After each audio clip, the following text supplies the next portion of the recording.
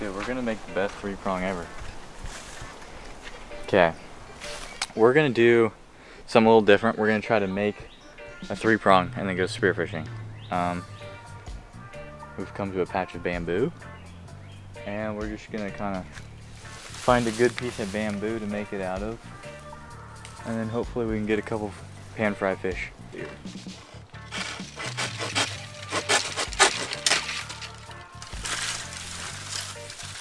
It'll probably end up being like five feet tall, so like here maybe, right? Because I'm seven foot three. How's that thing? Dude. that smacked the heck out of my face.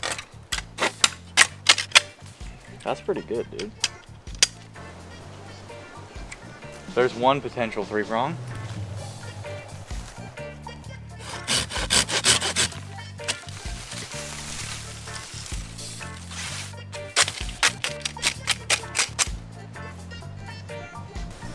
Straight, right? Another potential three prong. This one.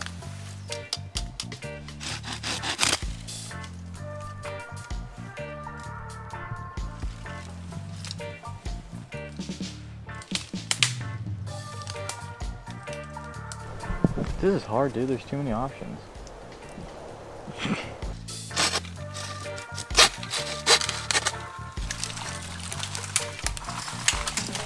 Dead at the bottom, alive at the top. Hear me out. Speed at the bottom, packs a punch at the top. Mm-hmm. How's that theory? Look at that three prong, dude. Really for the for the pan fry fish, the reds, the menpachi aweoweo, that kind of thing, you don't really need range. I mean, they're just in the caves, so they're generally short, close range shots. So we have a good amount, we have good options here. Let's go home, make this thing up, and then see if we can spear a couple fish to eat. Okay, we're back at the house. Um, we're gonna start making the prong part. This is what we have for the prongs. It's 3 16ths inches and 3 foot long piece of steel. Uh, we're going to make each prong 12 inches, so I'm going to mark this out.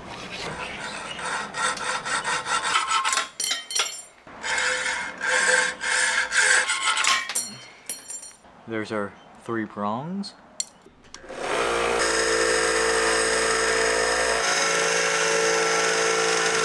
the tips are all done for this three prong. They're pretty sharp.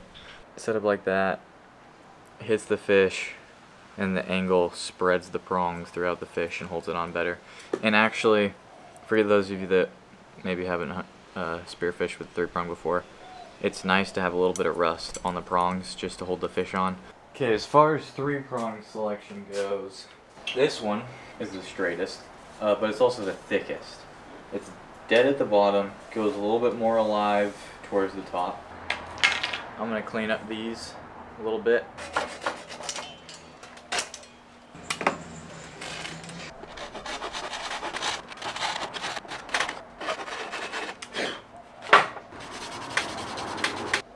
Do that a couple more times.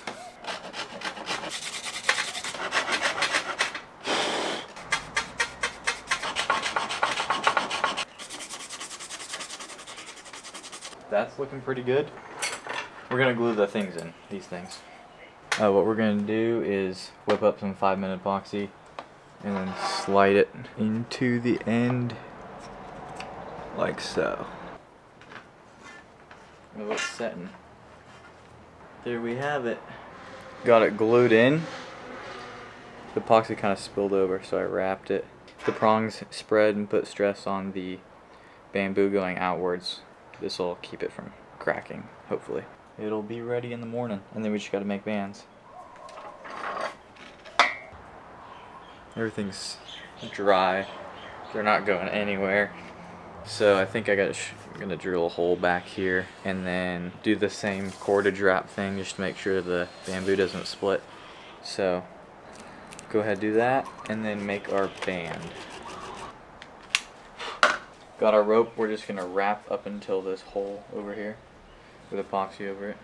This is more for a uh, looks, well, looks and works. It's going to keep it from splitting I could just use electrical tape, but it looks cooler if I use this. Oh yeah, that looks pretty good. Okay, making three prong bands is really easy. Uh, you just gotta get a piece of paracord, put a knot in each end, fray the end, and then melt it. Squish it on there. Do that to the other side. Then you're left with something to look like that. Next step, take your band material, take one end of your paracord, grab it with needle nose pliers, and shove it into the end. Then you're left with something like that. Now you're gonna put one end in the vise, take a bit of cord, and you're gonna make a clove hitch. So you go around, around again, and then feed this tag end under that X like so. Hopefully you saw that. And then tighten it.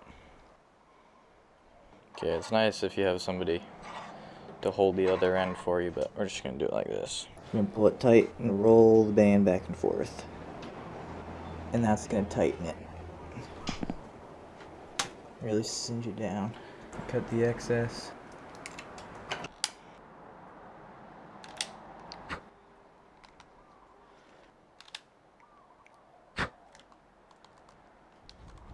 There you go. Pull it till that knot seats. That's how you tie the end of a three prong band.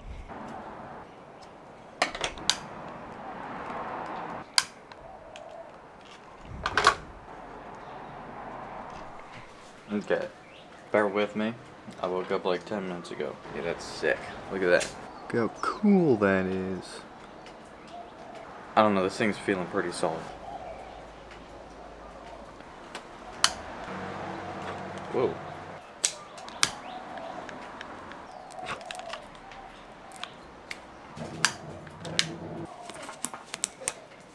Oh yeah.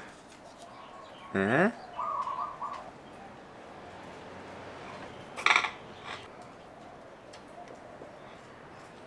There we have it. The three prong is finished. Got some nice sharp tips on it. In case you don't know how one of these works, put your hand through the band like this. Pull it and twist it a little bit just to make sure that it goes straight. But pull it like that and then let go of it. And left. Okay, I think we're good to go. It's gonna, I'm definitely gonna miss the first couple of shots. Yeah, tips are still sharp enough to penetrate a fish. We just gotta be able to hit one. And they're like gonna be like this big.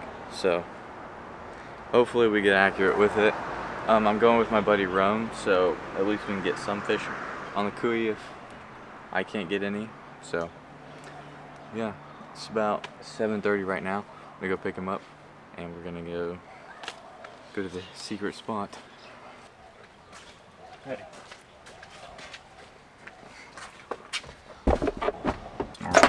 Okay, let's go. Good morning, sunshine. You have a plan for the fish? I have a kui.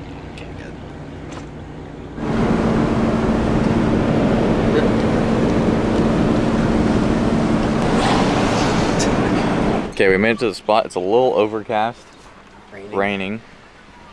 Uh, it looks like it's clearing up though, so we should be okay. Seems pretty cherry. Oh yeah, it's a little, It's a little bent. it's a little bent, but it's not bad for a bamboo. Yeah. It looks, like it's, it feels like it's gonna be a little slippery. Oh, that's actually not bad. Yeah, I have a glove, so we'll see. Okay. I don't know, looks pretty cherry. Water's not looking terrible. Never dove this before, but it looks pretty good. I'm not gonna show the shoreline because I know plenty of other guys that fish this and I'm not trying to step on any toes, so. We're going for mainly Menpachi and Aweoweo, but if any invasives like the Koala Tape or Roi pop out, we'll shoot those too. See you in the water. Oh! Damn. Back end floats. Front end kind of sinks. Right, this is first ever voiceover, so bear with me. Uh, first drop of the day. Get down the bottom. I saw some potchies from the surface. kind of see him in that cave right there. And then right here, Roi pops out. Switch my attention to him, lose him in the rocks. Never saw him again. Head back up to the surface. Second drop, similar area. Going for the Pachis again. Get down to the bottom, you can see that one right there, darting into that hole. Look for him a little bit. See another one over there, I'll go for him. Trying to line up a shot. Oh, I try these grunts, I saw another dude on YouTube try it, so giving it a shot. Nothing. Head back to the surface. Run goes down right here. Lines up a shot. Misses. Reloads. Goes for another opportunity. Does not get it. Comes back to the surface. This clip I left unedited, just so you guys can see what a whole dive would be like. Uh, I don't know, see if you can hold your breath or something. Getting down to the bottom. And then right there, you can see that Pachi come out, load the three prong, line up the shot, and miss low. Reload again, try to get another opportunity at him. Throw some grunts again.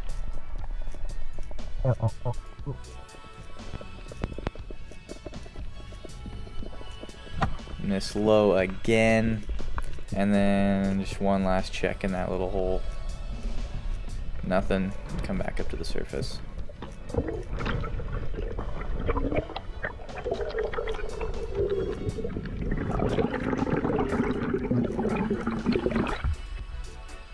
It's really slow. It was like, whoa. Think probably. Yeah. There we go. This is the last drop we did in this area. Apache were getting a little spooked. Get down to the bottom. Oh, the three prong. See one in this hole. Took a shot. And I missed low again. Line up again, see if I can get another shot off on him. Nothing. Back up to the surface. Oh no! I was think we should move to a new spot just to get some fun. Spooked. yeah, I bent the crap out of it. Alright, we dove for another hour after this, looking in similar caves to this one. Didn't find anything, so we hopped out, called it a day. We got a couple drops in. Saw a couple Pachi. Look at that guava in the parking lot, dude. Aren't they supposed to be pink? They're normally pink. It tastes different too. Is that it? Nah, it's guava. That was a failed mish. Got a couple shots off. Missed every one. Got a couple good dives. We just called it, and we're gonna come back when the weather's a little nicer, and we can guarantee get a couple pachis. So. Okay, it's the next day. We're looking for spots. The waves are a little bigger today. Okay, our pachi spot is right here. So.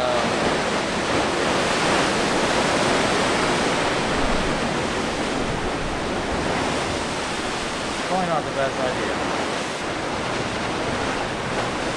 I think it's a little big today. We'll probably try again tomorrow. Well, when the swell chills out.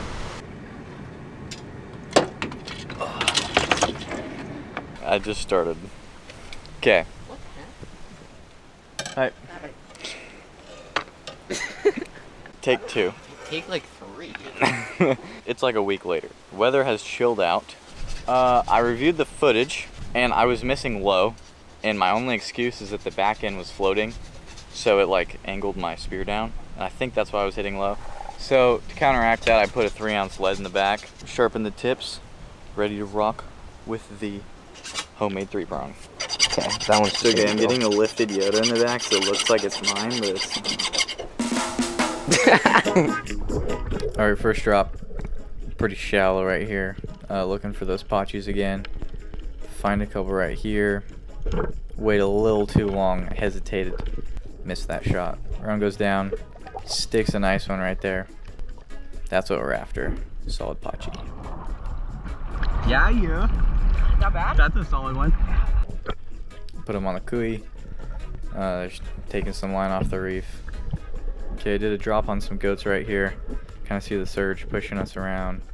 Um, there's some Moanos and then a Joe right there. I was going for that Joe, that Munu. Kind of comes in right there. Trying to slowly move into range on them. And right when I get into range, that surge pushes them behind the rock. Look for them again, but they moved off, so went back to the surface. Another drop on the Pachis. You can kind of see them leave out the backside of that cave. Never got a shot off on these guys. Uh, going for those goats again. That Moano right there. I just go a little too aggressive. Spook him right there. Line it up again. He moves off. Here goes round, going for Moano right there. Nothing. Um, the swells picked up a little bit more than we anticipated. So we did plenty more drops without any action and just decided to call it.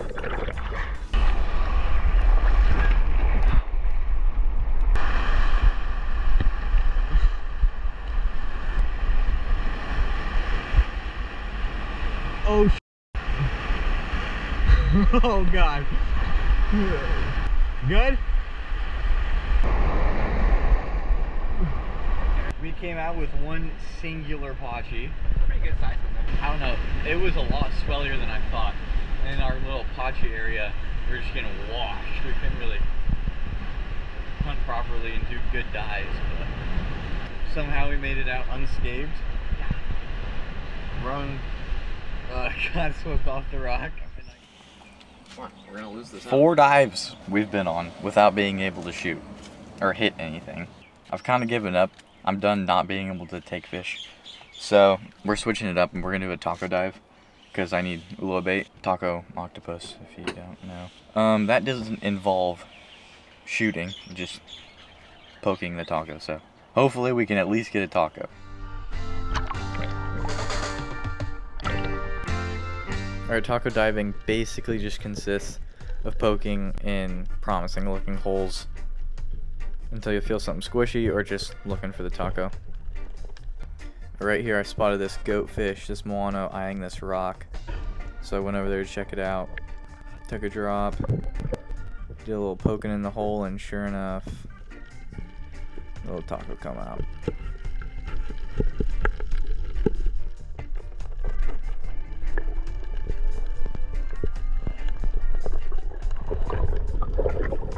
This guy was probably legal, but he was just a little small.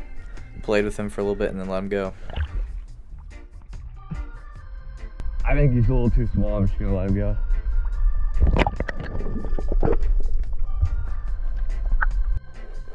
Back to poking holes. Um, I actually found a little guy right here. You can see his tentacles right there. But he was he was pretty micro. Just let him be. This is the first keeper. You can kind of see him change color right there. Give them a little tickle. And once they have enough, they just come out.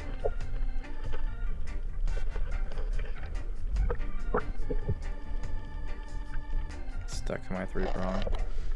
Uh, to kill them, you just bite their head real quick. It's quick and clean, and you know they're dead when they turn white.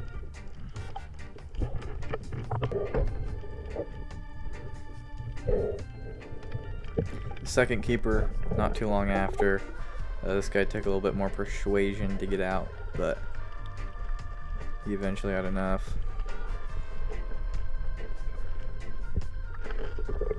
Biting him right here. And there we got it. That's what we needed too. Nice tako.